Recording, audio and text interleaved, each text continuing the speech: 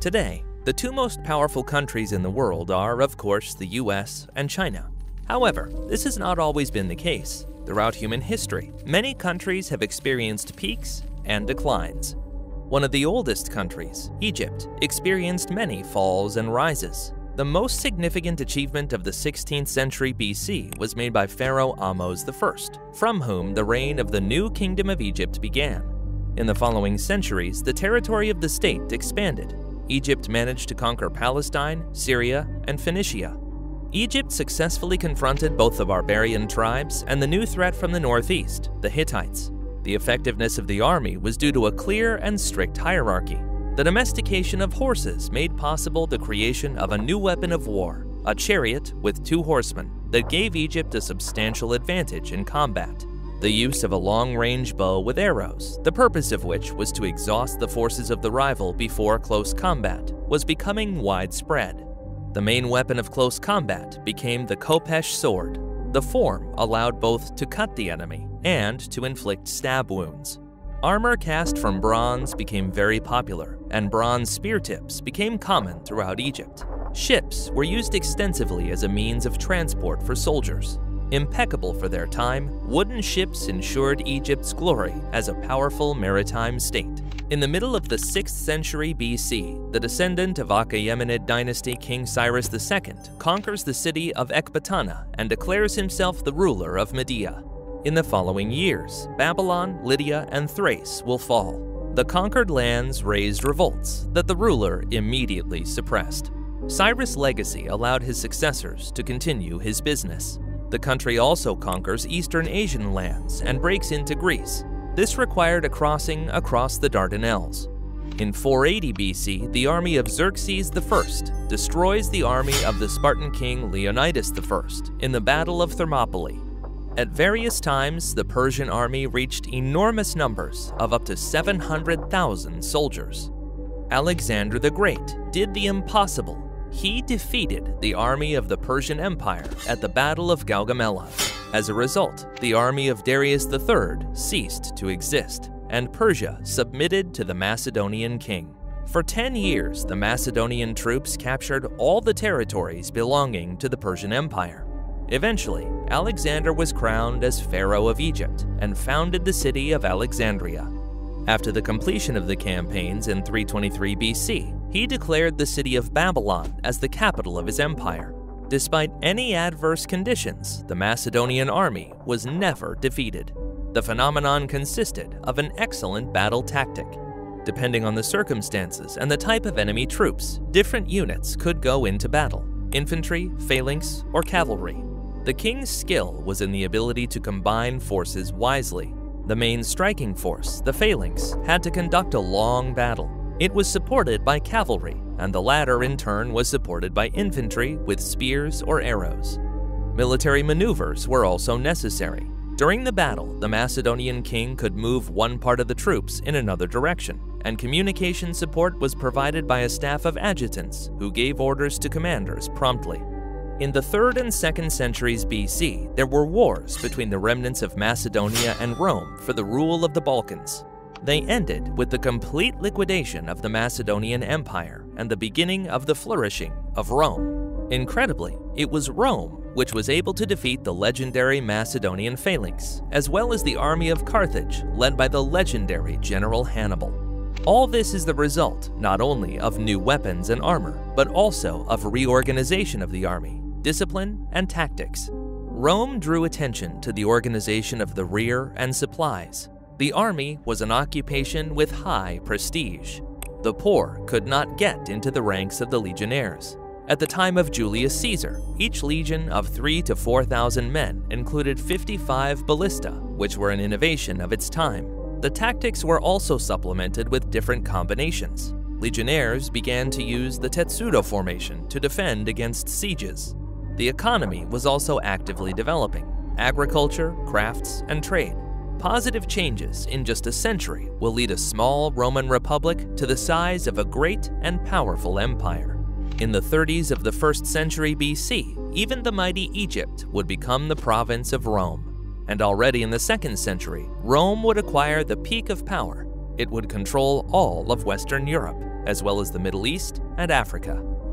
Eventually, the Roman Empire was divided, and on the basis of its eastern part, Byzantium was created, which received rich provinces. However, the country was at war with barbaric tribes. The situation improved with the arrival of Emperor Justinian to power. Thanks to him, the empire expanded and gained control of territories in Europe and Africa in the mid 6th century. Also, the fleet acquired significant importance. The invention of Greek fire has become an incredible threat to the rival ships. The Byzantine army could be defeated on shore, but their fleet was unbeatable at sea. The influence of Byzantium also occurred in the world of religion.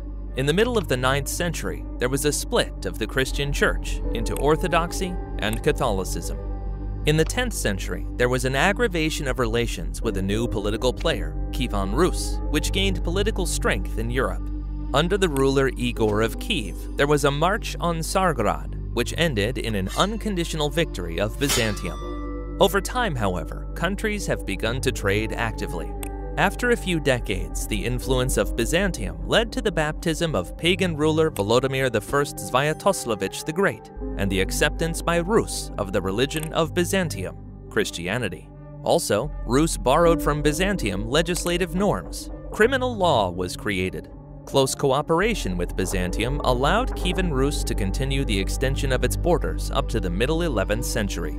Although the consequences were not felt for 200 years, in the late 12th and early 13th centuries, Khan Temujin, better known as Genghis Khan, united scattered Mongol tribes, created the Mongol Empire, and became its emperor. Over the next 20 years, he conquered large areas of Asia and the Middle East. The nomadic army used bows and arrows on a large scale, covering the enemy until it began to retreat.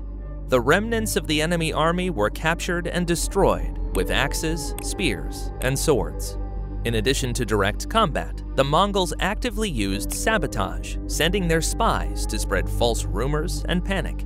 Genghis Khan instituted iron discipline. The death penalty awaited all those who had retreated without orders or who hadn't entered the battle in time.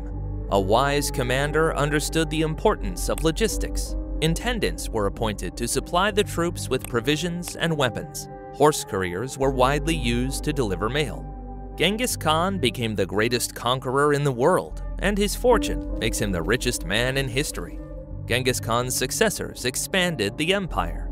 In the second half of the 13th century, Kublai Khan conquered the territories of China, Korea, and Vietnam. Moreover, using the new junk ships, he began his march on Japan which was interrupted by a powerful storm. During its heyday, the territory reached an unprecedented 33 million kilometers, with a population of over 100 million at that time. This makes the Mongol Empire the second empire in history. In different administrative divisions, the Mongols ruled Eurasia unilaterally by the middle of the 15th century. During this period, the Ottoman Empire gained power, Sultan of the Ottoman Empire Mehmed II the Conqueror invaded Byzantium and captured Constantinople. The fleet played an important role in the occupation of Constantinople. The expansion of the zones of influence and control over the Bosporus and the Dardanelles allowed the Ottomans to prosper. An administrative system was being established, a government that controls the collection of resources for military and civilian purposes.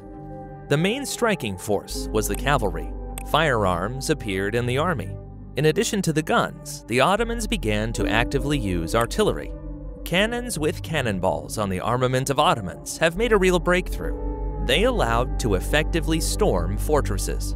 Each successive ruler only expanded the territory of a powerful state. Sultan Selim I added the territory of Egypt and Persia.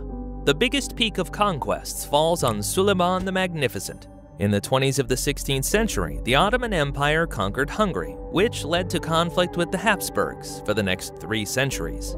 In the first half of the 16th century, Charles V of the Habsburg family became King of Spain and Holy Roman Emperor.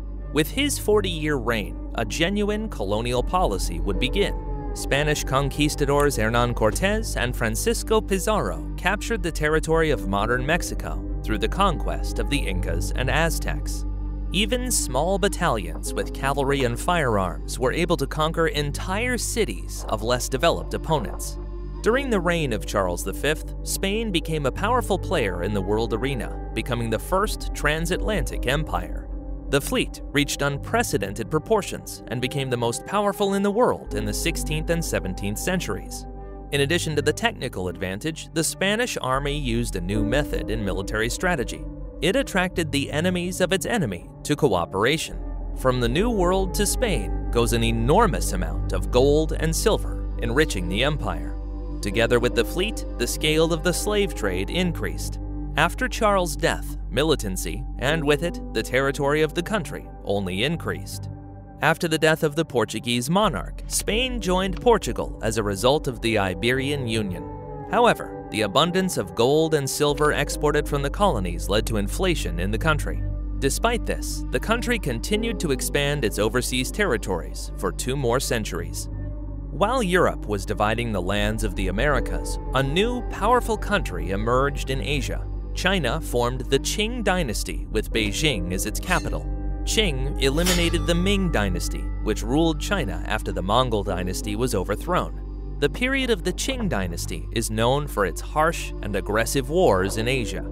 In the second half of the 17th century, the Qing general Zheng Chenggong defeated the Dutch and captured its colony of Taiwan.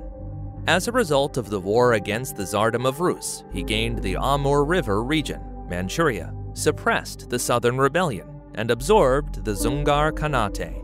At the peak of its power, the population was 400 million people, which was rather unbelievable at that time. The agricultural industry acquired unprecedented scale. The country maintained a closed policy, but sold silk, tea, and porcelain to Europe. This would lead to the most undesirable political conflict in the country. The largest nation in the history of mankind is by far the British Empire. The Kingdom of England was the beginning of a powerful empire. It began its expansion in the late 16th century. For 200 years, the influence and the number of captured territories grew many times. Although in the 70s of the 18th century, the United States declared war and became independent, it hadn't prevented the British Empire from developing new lands. The territories of Canada, Australia, India, and other countries were evenly captured. In the first half of the 19th century, as a result of the trade conflict between Britain and Qing, an opium war ensued. The British Empire, with its army of 20,000, inflicted a crushing defeat on the Qing dynasty, which had a number of soldiers that was 10 times bigger. The obtaining of Hong Kong and the expansion of the British Empire's influence in China was the result of that victory. The massive distribution of opium from British controlled India became a revolutionary method of control. Over 100 million Chinese became addicted, undermining Qing's future position. The British Empire also distinguished itself by banning slavery. At the height of its power, this empire controlled almost a quarter of the world's territory, with a population of more than 400 million people. Simultaneously with Britain and Spain, France tried to pursue a colonial policy but lost ground to the British Empire. The country was doomed to remain an overseer, but it also had its peak of power. The French Revolution brought Napoleon Bonaparte to power. The young commander was given a weak, disengaged, and incompetent army. In a short period of time, he used his iron hand to clean it up, shooting down the intendants who were stealing from the treasury. He forbade generals to physically beat soldiers, which was normalized in the armies of the time. He provided the army with clothing and weapon samples. Not only ethnic French were involved in the army from that time. The logistics of the artillery acquired a new dimension. Private companies, which had previously made a huge fortune on government orders to transport guns and ammunition, were no longer associated with the army. The emperor's reforms had both a material and a significant mental impact on the soldiers, boosting their morale. As a result, in the early 19th century, the army of Napoleon's France became a formidable rival.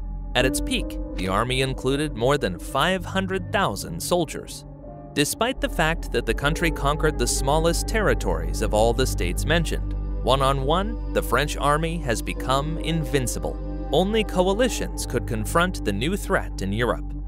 Bonaparte's actions cannot be measured by the number of battles he won. During the Napoleonic period, France exerted considerable influence in Europe. The impact was so great that the Emperor of France intervened in the internal feuds of the Habsburgs, Europe's most famous rulers. Not surprisingly, even 200 years later, Napoleon is still considered to be the most influential figure in Europe of the 19th century. The next major conflict in Europe was called the Franco-Prussian War. Napoleon's nephew, Napoleon III, would be defeated.